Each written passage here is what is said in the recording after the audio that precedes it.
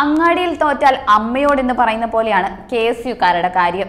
ഇലക്ഷന് തോറ്റാൽ അതിന് കാരണം ഒന്നുകിൽ മന്ത്രി അല്ലെങ്കിൽ എസ് എഫ് ഐ അതുമല്ലെങ്കിൽ ഇടതുപക്ഷക്കാർ ആരെങ്കിലും. അല്ലാതെ അവനവന്റെ കുഴപ്പം കൊണ്ടാണെന്ന് സമ്മതിക്കാൻ വലിയ പാടാ ഇവർക്ക്. ഒരു മാർച്ച് കൂടിയായാൽ സീറ്റ് കിട്ടുമെന്നാണോ കെ എസ് യുക്കാർ കരുതുന്നത്? തൃശൂർ കേരളവർമ്മ കോളേജിലെ തെരഞ്ഞെടുപ്പിൽ കെ എസ് യു ചെയർമാൻ സ്ഥാനാർത്ഥിയുടെ തോൽവിയിൽ മന്ത്രിക്ക് പങ്കുണ്ടെന്ന് ആരോപിച്ചായിരുന്നു കെ എസ് യുക്കാരുടെ മാർച്ച്. കേസിൽ ഹൈക്കോടതിയിൽ നിന്ന് തിരിച്ചടി നേരിട്ടതിന് പിന്നാലെയാണ് കെ എസ് യുക്കാരുടെ ഇപ്പോഴത്തെ അഴിഞ്ഞാട്ടം.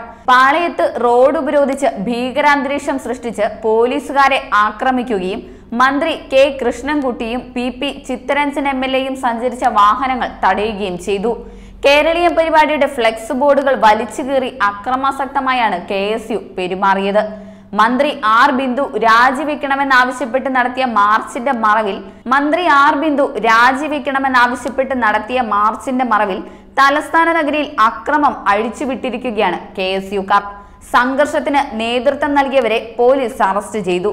ഇവരെ ജീപ്പിൽ നിന്ന് പിടിച്ചിറക്കിയ കെ എസ് യുക്കാർ പോലീസ് വാഹനത്തിന്റെ താക്കോൽ ഒടിച്ചത് കാരണം അറസ്റ്റിലായവരെ ഓട്ടോറിക്ഷയിലാണ് സ്റ്റേഷനിലെത്തിച്ചത്. മന്ത്രിയുടെ വഴുതക്കാടെ ഔദ്യോഗിക വസതിക്ക് മുന്നിൽ നടന്ന ധർണയിലും പോലീസിനെ ആക്രമിക്കാൻ ശ്രമമുണ്ടായി.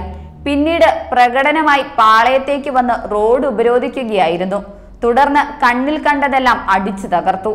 എം. Vincent M. എൽ. എയും മറ്റ് നേതാക്കളും പിന്തുണയുമായി എത്തിയതോടെ രംഗം കൂടുതൽ വഷളായി. കെ എസ് യു നേതാക്കളായ ഗോകുൽ നെയ്യാർ ഫർഹാൻ മുണ്ടേരി അഭിജിത്ത് നെടുമങ്ങാട് എന്നിവരെ പോലീസ് അറസ്റ്റ് ചെയ്തു. ഇവരെ കോടതിയിൽ ഹാജരാക്കി റിമാൻഡ് ചെയ്തു. കണ്ടാലറിയുന്ന നൂറു പേർക്കെതിരെ കന്റോൺമെന്റ് പോലീസ് കേസെടുത്തു.